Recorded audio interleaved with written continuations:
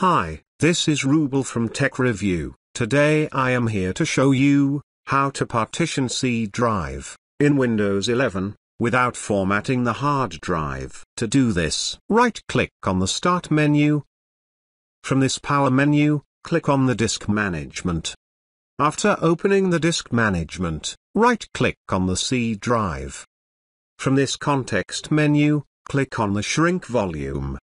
Please wait. It will take some time, the system will calculate the maximum possible size of the new partition, which can then be edited manually by specifying the desired value.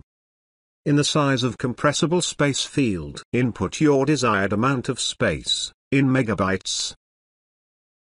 Click on the shrink.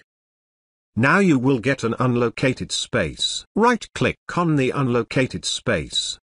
Click on a new simple volume, Click on Next.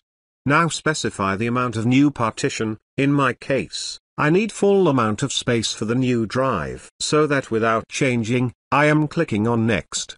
Click on Next. If you want, you can give name of this new drive. Click on Next. Click on Finish. Thanks for watching this video. Hope you like this. Please do subscribe to my channel. Also give a like please. Take care.